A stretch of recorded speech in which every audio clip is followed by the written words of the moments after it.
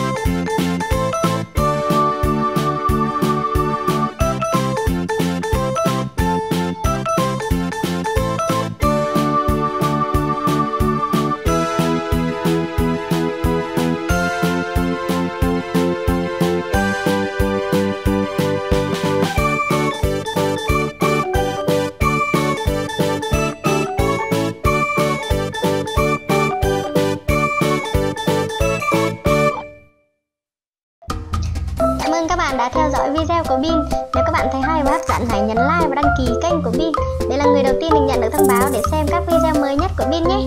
Cảm ơn các bạn.